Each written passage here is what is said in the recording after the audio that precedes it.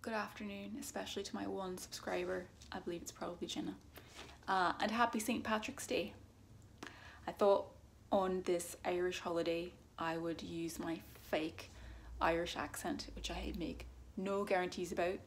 Um, but I would read a story from the past that is not an Irish story but could be, it's not non-Irish, it's about a farmer and a cat. A cat. And I have a cat here with me. Right there. Whoa, that was British. Right there. and he may um, perhaps provide some visual aids, we'll see.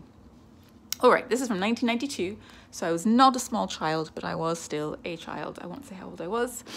There are some small illustrations here, perhaps after the fact, because it says neat illustrations, and I'm not sure if that came before or after I got this paperback. Anywho, without further ado, The Farmer's Cat. I'm just going to keep it aimed this way, so you can also read along if you are able to read old cursive. Farmer's Cat. There once was a handsome young cat who lived on a farm. One day the farmer, who was kind enough to house and feed this lazy cat, asked him to kill the field mice who had begun to infest the barn. The cat agreed, but was in no hurry to start his chore. Instead, he rolled around in the field, teased the dog, and groomed himself thoroughly. He was just grooming himself. For the next few days, he gave little thought to the mice. There it is. There aren't that many of them, he thought, and I can always kill some tomorrow if I feel like it.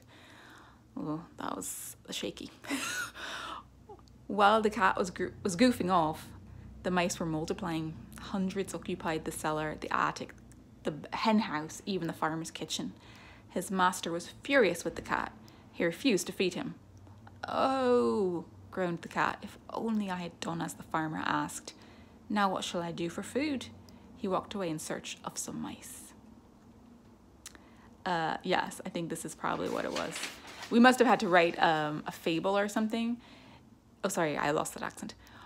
Teach Bridget Dean, Miss Dean. Bridget Dean was my teacher. Uh, moral, something about procrastination forcing you to fend for yourself. Was I supposed to have written that?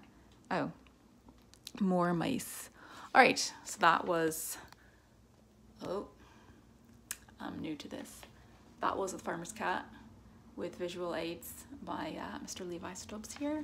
And uh, again, happy St. Patrick's Day. And uh, I'm not going to say don't be a lazy cat. You can be a lazy cat, especially these days, but just uh, be a lazy cat with cushion.